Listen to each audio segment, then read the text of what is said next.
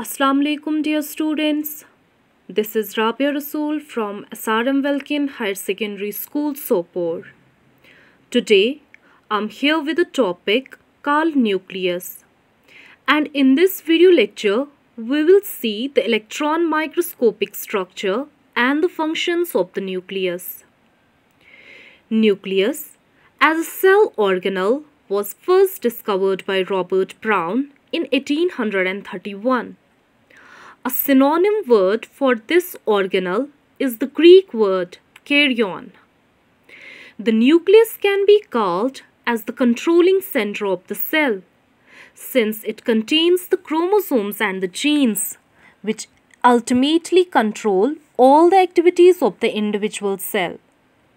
Generally, there is a single nucleus per cell.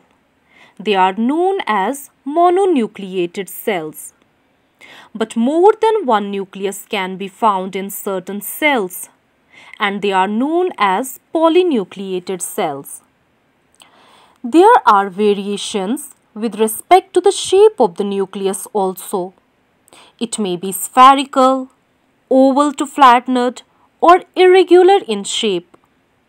In most of the cases, it has a regular outline but may also have an irregular outline. The size of the nucleus would also vary not only depending upon the type of the cell involved but also according to the activity of the cell. The nucleus will be larger in an active cell but will be smaller in a resting cell. A nucleus has been described as having four important parts, namely a nuclear membrane or nuclear envelope or karyotheca, nucleoplasm or karyoplasm, nucleolus, and chromatin matter. The nuclear boundary of interphase and prophase nucleus is called nuclear envelope which usually breaks down at the end of prophase. It's actually a mechanical boundary between nucleoplasm and cytoplasm and functions to facilitate the regulation of nucleocytoplasmic interactions. The envelope consists of a double membrane that is having two unit membranes. The space between these two unit membranes varies in width and is known as perinuclear space. This membrane is not continuous but is interrupted by octagonal pores which are known as nuclear pores. These pores provide direct contact between nucleus and cytoplasm.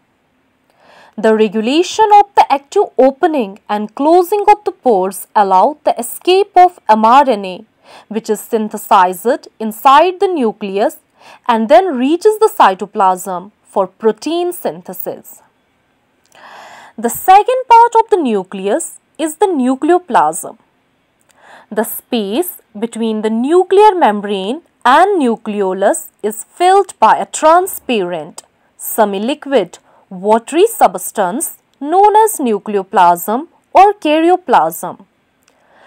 The nucleoplasm contains dissolved phosphorus, ribose sugars, proteins, nucleotides and nucleic acids.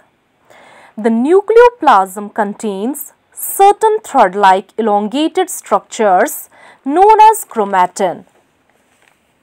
The next part of the nucleus is the nucleolus. In higher organisms, every cell nucleus has a spherical, colloidal body called nucleolus. The nucleolus is associated with a particular nucleolar organizing chromosome. A special region in this chromosome is known as the nucleolar organizing region to which usually the nucleolus is found attached. The nucleolus mainly consists of RNA, acidic dyes, basic dyes, phospholipids, alkaline phosphatase and nucleolar DNA. Although various functions have been assigned to the nucleolus, Presently, it is believed that the most important function of the nucleolus is the synthesis of ribosomal RNA, that is rRNA. The last part of the nucleus is the chromatin matter. The interphase nucleus has a loose and indistinct network of nucleoprotein fibers called chromatin. But during different stages of cell division, it forms rod-like structures called as chromosomes.